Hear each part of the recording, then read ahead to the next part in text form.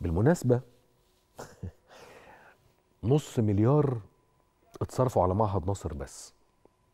حضرتك عارف مصر وده هنا برضه الشيء بالشيء يذكر يعني.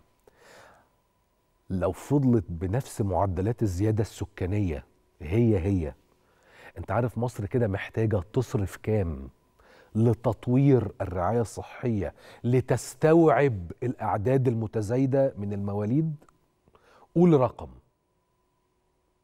تيجي نخلي ده سؤال الحلقة؟ علشان الناس دايما بتقعد تسأل يا جماعة أنتوا بتتكلموا على موضوع الزيادة السكانية ليه؟ حلو؟ ماشي. ويا يا جماعة هي الفلوس بتروح فين؟ هو الفلوس تخطت 6 تريليون في سبع سنين. عايز تعرف بتروح فين؟ طب أساعدك بالإجابة؟ عشان لقيت مرة واحد على تيك توك بيقول ليه رئيس الجمهورية بينتقد سلبية المواطن؟ علشان سلبية المواطن اولا هي اللي بتتسبب في ثانيا وثالثا ورابعا. المواطن اللي مش عاوز يقتنع بضرورة إنه يعيش في أسرة إيجابية ويتخلى عن سلبياته هو ده أنا هغششك الاجابه هو ده اللي هيخلي الدولة تتكلف سنويا تقريبا بالمتوسط بالمناسبة متوسط 40 مليار كل سنة. صحة بس. مدارس 20 مليار. متوسط مدارس بس مش الجامعة مدارس بس وده بنا بس مش تكاليف التشغيل. حدوتة يعني لازم تتحكي. ولو حبيت تسمي الحدوتة دي اسم سميها جدعنة الدولة في مصر. إزاي الدولة في سبع سنين قدرت إنها تقف على رجليها؟ من التقريبا لا شيء.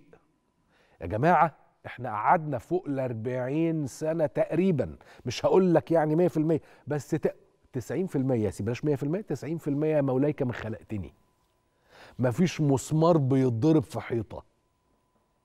90% من حيطانك يا مصر. مدارس مستشفيات مصانع. غير إن هم باعوا المصانع ده موضوع تاني. وبتراب الفلوس ده موضوع تالت.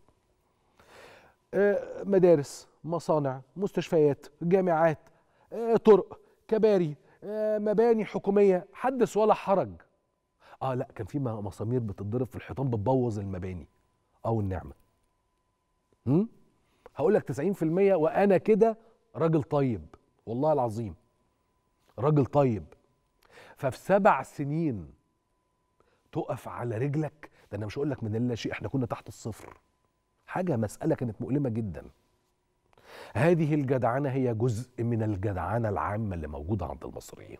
المصري ودون أي تعصب ودون أي تحيز المصري فعلا جدع. فعلا جدع. المصري ده بقى مصرية بتاء التانيث أو مصري مذكر؟ جدع.